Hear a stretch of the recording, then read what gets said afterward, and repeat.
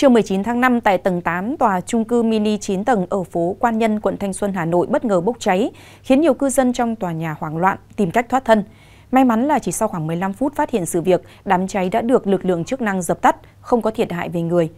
Theo một người trọ ở tầng 8 của tòa trung cư mini phố Quan Nhân Hà Nội, khi phát hiện khói đen bốc lên, có báo cháy của tòa nhà kêu inh ỏi, lập tức anh chạy lên tầng thượng và hô hoán mọi người. Một số người dân sống tại phố Quan Nhân cho biết, trước đây tòa trung cư trên là khách sạn, sau đó được chủ cơ sở cải tạo thành trung cư mini, cho thuê với giá 3,8 đến 4 triệu đồng một phòng. Một thành viên tổ liên gia phòng cháy chữa cháy phường Nhân Chính, quận Thanh Xuân kể, hơn 12 giờ ngày 19 tháng 5, các thành viên trong tổ liên gia phòng cháy chữa cháy phát hiện có khói đen ở khu vực phố Quan Nhân. Ít phút sau, tổ liên gia nhận tin có cháy trung cư mini tại con phố này. Ngay lập tức, nhiều thành viên trong tổ liên gia có mặt tại hiện trường để tìm cách dập lửa. Ít phút sau, cảnh sát phòng cháy chữa cháy có mặt để nhanh chóng di tản người dân khỏi tòa nhà sang tầng 2 của nhà văn hóa ở phía đối diện. Đại diện công an phường Nhân Chính cho biết, nguyên nhân ban đầu vụ cháy có thể do chập điện. Nguyễn Minh Quân, 21 tuổi, thuê trọ một phòng ở tầng 8 của tòa trung cư 9 tầng, nơi xảy ra vụ cháy cho hay. Thời điểm xảy ra sự việc vào khoảng 12 giờ cùng ngày. Khi đó, phòng trọ của Quân bị mất điện. Khi phát hiện khói đen bốc lên, còi báo cháy của tòa nhà kêu inh ỏi. Nam thanh niên này ngay lập tức hô hoán mọi người xung quanh rồi chạy lên tầng thượng và chờ giải cứu. Trước đó khoảng 12 giờ, tại tòa trung cư cao 9 tầng ở phố Quan Nhân, quận Thanh Xuân xảy ra cháy. Địa điểm đám cháy xuất phát từ tầng 8 của tòa trung cư mini. Theo chỉ huy đội cảnh sát phòng cháy chữa cháy và cứu nạn cứu hộ công an quận Thanh Xuân, đám cháy bùng phát từ hộp điện thang máy nghi do chập điện. Vụ hỏa hoạn không gây thiệt hại về người, căn chung cư mini là do chủ nhà cho thuê trọ. Sau khi nhận tin báo, đội cảnh sát phòng cháy chữa cháy và cứu nạn cứu hộ công an quận Thanh Xuân điều nhiều xe chữa cháy và cán bộ tới hiện trường dập lửa. Cảnh sát leo cầu thang tiếp cận ngôi nhà, vào từng tầng tìm kiếm người và lên mái nhà tầng thượng hướng dẫn người dân thoát hiểm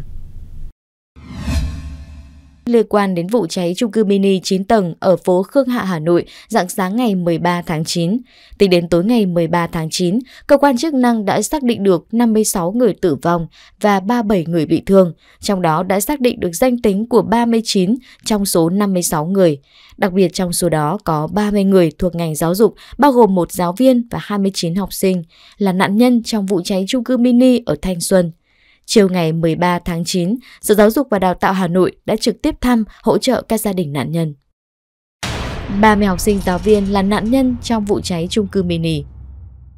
Tối ngày 13 tháng 9, lãnh đạo Sở Giáo dục và Đào tạo Hà Nội thông tin, theo thống kê sơ bộ, có 30 người, bao gồm 29 học sinh và một giáo viên là nạn nhân trong vụ cháy trung cư mini tại Khương Hạ. Theo thông tin ban đầu, trong số này có một số học sinh tử vong, giáo viên và các học sinh còn lại bị thương ở nhiều mức độ khác nhau. Liên quan đến việc khắc phục hậu quả vụ hỏa hoạn tại trung cư mini số nhà 37 ngách 29 trên 70 phố Khương Hạ, phường Khương Đình, Thanh Xuân, Hà Nội. Chiều 13 tháng 9, lãnh đạo Sở Giáo dục và Đào tạo Hà Nội, Công đoàn ngành giáo dục Hà Nội, Phòng Giáo dục và Đào tạo quận Thanh Xuân và ban giám hiệu một số trường trên địa bàn đã đến thăm hỏi động viên, chia sẻ với các gia đình học sinh, giáo viên là nạn nhân. Sở Giáo dục và Đào tạo Hà Nội đã chỉ đạo Phòng Giáo dục và Đào tạo quận Thanh Xuân và các nhà trường có liên quan tiếp tục giả soát trường hợp là cán bộ giáo viên, nhân viên và học sinh có liên quan đến vụ cháy. Với những trường hợp học sinh tử vong, Sở Giáo dục và Đào tạo Hà Nội giao công an ngành và chỉ đạo Phòng Giáo dục và Đào tạo quận Thanh Xuân các đơn vị có liên quan thăm hỏi, lo hậu sự cùng gia đình. Trường hợp học sinh bị thương nhẹ có thể bị ảnh hưởng về tâm lý, Sở Giáo dục và Đào tạo Hà Nội cũng đã chỉ đạo các nhà trường phân công giáo viên hỗ trợ kèm cặp, động viên, ổn định tinh thần cho các em. Liên quan đến vấn đề này, Phòng Giáo dục và Đào tạo quận Thanh Xuân cùng các đơn vị trường học trên địa bàn thành phố cũng triển khai nhiều hình thức hỗ trợ gia đình học sinh, giáo viên bị nạn. Theo thông tin ban đầu, khoảng 23 giờ đêm 12 tháng 9, đám cháy xảy ra tại chung cư mini ở phố Khương Hạ. Vụ cháy xảy ra ban đêm nên có nhiều người tử vong và mắc kẹt ở trong chung cư. Được biết, lửa xuất phát từ khu để xe máy tầng 1, sau đó lan lên tầng 10 chung cư mini. Lửa bốc rất mạnh, tràn ra ngoài ô thoáng và lan sang nhà kế bên. Cột khói đen bốc cao ngùn ngụt, đứng cách xa cả cây số vẫn nhìn thấy. Tính đến thời điểm hiện tại, cơ quan chức năng đã xác định được 56 người tử vong và 37 người bị thương, trong đó đã xác định được danh tính của 39 trên 56 người tử vong. Hiện giám đốc công an thành phố Hà Nội đang chỉ đạo cơ quan cảnh sát điều tra công an thành phố Hà Nội tiếp tục khẩn trương điều tra, xử lý nghiêm theo quy định của pháp luật và tích cực phối hợp với các sở ngành thành phố Hà Nội và Ủy ban nhân dân quận Thanh Xuân tổ chức thăm hỏi, động viên, hỗ trợ cho các gia đình nạn nhân. Theo báo cáo của Bệnh viện Bạch Mai, nơi tiếp nhận 26 người thương vong trong vụ cháy trung cư mini ở Hà Nội, trong đó hai người tử vong ngoại viện, hầu hết các bệnh nhân ngộ độc khí CO. Ngoài ra, vì nhảy khói đám cháy nên nhiều ca bị chấn thương và đa chấn thương, đặc biệt không có trường hợp bệnh nhân bị bỏng. Tối ngày 13 tháng 9, cơ quan cảnh sát điều tra công an thành phố Hà Nội đã ra quyết định khởi tố vụ án, khởi tố bị can và lệnh bắt bị can để tạm giam 4 tháng đối với Nghiêm Quang Minh, sinh năm 1979, hiện trú tại Yên Hòa, quận Cầu Giấy, Hà Nội, là chủ trung cư nơi xảy ra vụ cháy, về tội vi phạm quy định về phòng cháy chữa cháy theo điều 313 Bộ luật hình sự. Các quy định và lệnh bắt bị can được Viện Kiểm sát Nhân dân thành phố phê chuẩn. Tổng kiểm tra ra soát an toàn cháy nổ đối với loại hình chung cư mini trên toàn quốc. Thưa quý vị, sau vụ cháy chung cư mini ở Hà Nội khiến 56 người tử vong và 37 người bị thương, Bộ Công an đã yêu cầu tổng kiểm tra giả soát về an toàn cháy đối với loại hình chung cư mini trên phạm vi cả nước. Sáng ngày 13 tháng 9, tại phiên họp thứ 26 của Ủy ban Thường vụ Quốc hội, giải trình về tình hình cháy nổ tiếp tục gia tăng trong thời gian qua, trưởng ban công tác đại biểu Nguyễn Thị Thanh cho hay, Tình hình cháy nổ trên phạm vi cả nước diễn biến phức tạp. 8 tháng đầu năm 2023 đã xảy ra 2.031 vụ cháy, tăng 38%, làm 83 người tử vong, tăng 48%.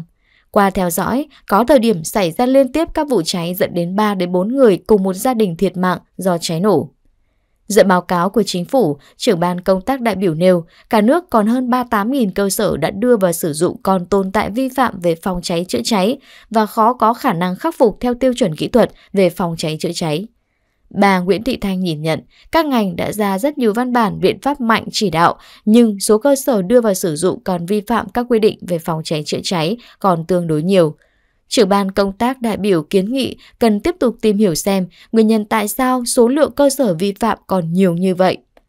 Giải trình về tình hình cháy nổ tiếp tục gia tăng trong thời gian qua, Thứ trưởng Công an Thiếu tướng Lê Văn Tuyến đã thông tin về vụ cháy trung cư mini xảy ra ở phố Khương Hạ, phường Khương Đình, quận Thanh Xuân, Hà Nội.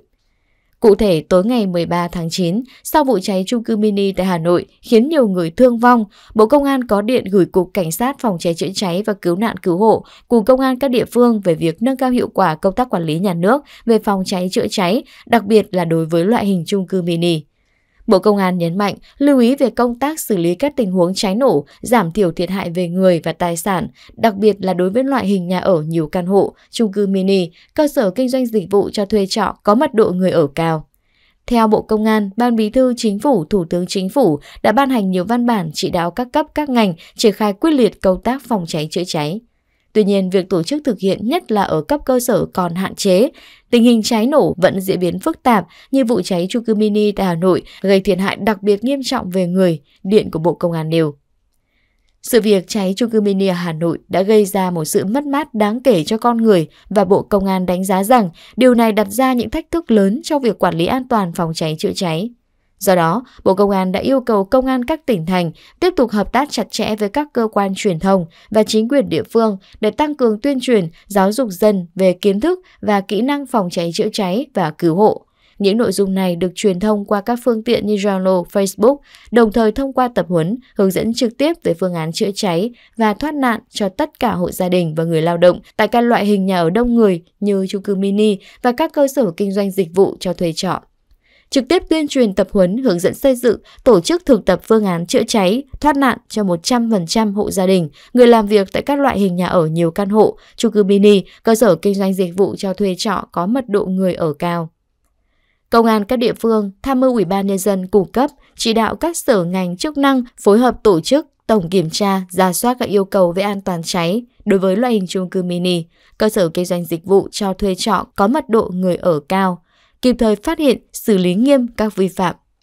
Bộ Công an giao Cục Cảnh sát Phòng cháy chữa cháy và Cứu nạn Cứu hộ phối hợp với các đơn vị chức năng thuộc Bộ Xây dựng, Công an các địa phương tham mưu sơ kết 8 tháng thực hiện chỉ thị số 01 của Thủ tướng về tăng cường công tác phòng cháy chữa cháy trong tình hình mới. Theo đó, công an các tỉnh thành cũng sẽ hỗ trợ chính quyền địa phương để tổ chức tổng kiểm tra, xem xét các yêu cầu về an toàn phòng cháy chữa cháy đối với chung cư mini và cơ sở kinh doanh dịch vụ cho thuê trọ có mật độ người ở đông đúc và đề xuất biện pháp cấp bách đối với việc cải thiện an toàn trong các loại hình nhà ở này. Thông điệp cuối cùng, Bộ Công an đặt mục tiêu rõ ràng, lãnh đạo Cục Phòng cháy chữa cháy và Cứu nạn Cứu hộ chịu trách nhiệm hướng dẫn, chỉ đạo đôn đốc, tổ chức kiểm tra việc thực hiện công điện và chịu trách nhiệm về kết quả thực hiện của các địa phương trước lãnh đạo Bộ Công an. Đồng thời đề xuất báo cáo chính phủ các giải pháp cấp bách để tăng cường công tác phòng cháy đối với loại hình chung cư mini, cơ sở kinh doanh dịch vụ cho thuê trọ có mật độ người ở cao, cũng theo Thủ tướng, sáng ngày 13 tháng 9, lãnh đạo Bộ Công an đã họp với thành phố Hà Nội, các sở ngành để giải quyết vụ việc. Vâng thưa quý vị, vụ cháy trung cư Khương Hạ được đánh giá là vụ cháy đặc biệt nghiêm trọng. Các cơ quan của quận Thanh Xuân đang phối hợp chặt chẽ với công an thành phố và các lực lượng chức năng khẩn trương xử lý vụ việc. Mọi thông tin mới nhất sẽ được chúng tôi liên tục cập nhật trong video sau. Cảm ơn quý vị và các bạn quan tâm theo dõi. Xin chào và hẹn gặp lại.